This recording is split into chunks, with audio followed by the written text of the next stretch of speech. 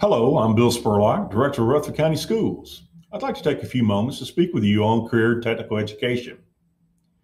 The goal of every educator is to prepare students for college and careers. Now, we understand that college lasts a finite amount of time, whereas a career lasts a lifetime. Currently in the United States, college student loan debt is at $1.7 trillion. Now, this is not only unsustainable, it's unnecessary. Our mission statement in Rutherford County Schools is to empower today's students to grasp tomorrow's opportunities. These opportunities not only exist in our core classes, but they also exist in our career and technical education classes. We have 39 programs of study, and within each one of those programs of study, we have a multitude of career clusters we have in our classes the ability for students to not only get high school credit, but also college credit. And some can even take a industry certification test and be prepared for some of the most challenging and the most rewarding careers. We are strong proponents of a career technical education.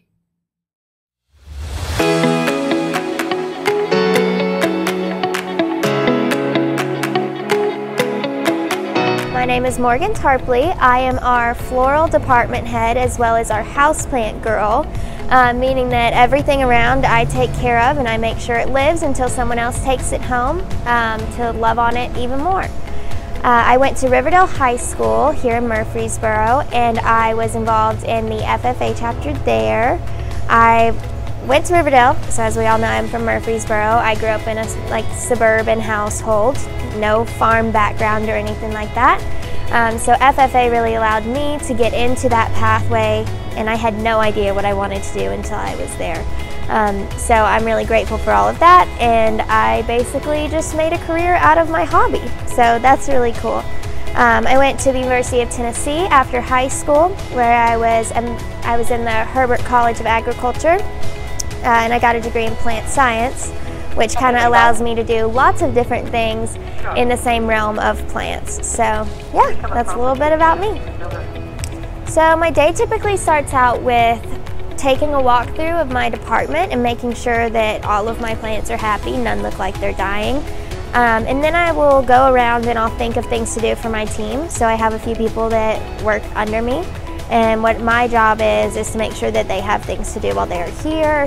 Um, we're constantly cleaning, moving things. This is a retail business, so not only do we grow the plants, but we also have to make sure that they're shoppable.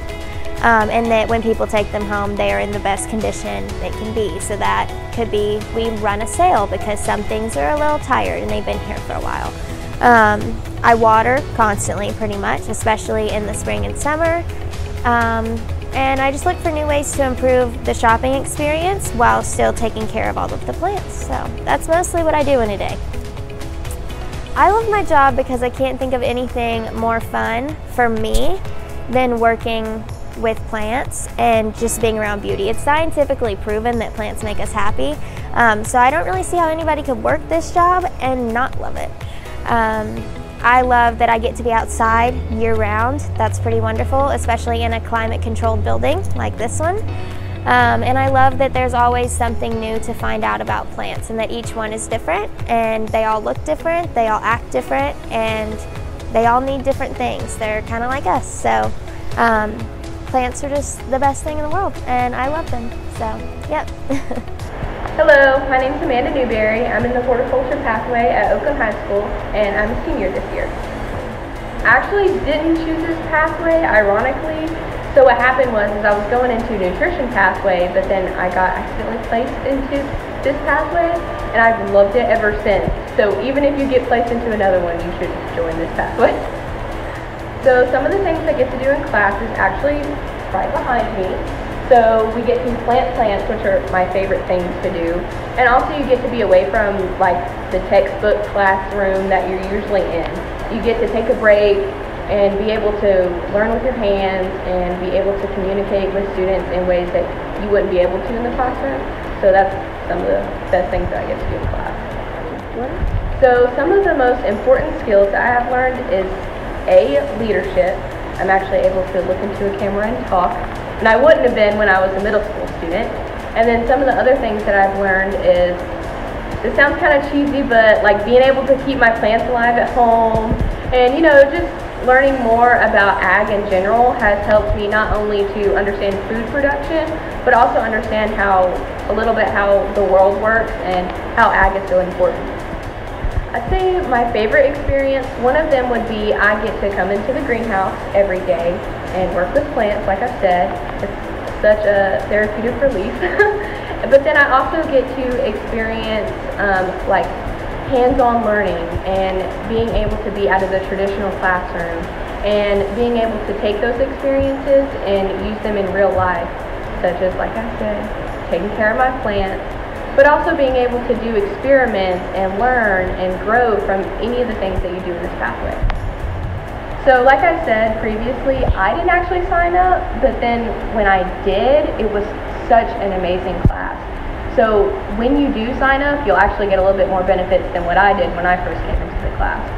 But ultimately, I think you should sign up for this class because it has given me such good lifelong experiences that you can't get anywhere else. I mean, how are you going to learn how to take care of your grandma's plants when she doesn't have them anymore? but um, realistically, though, it has been my favorite class and will continue to be one of the lifelong skills that I've learned and will keep on learning till I still use these skills.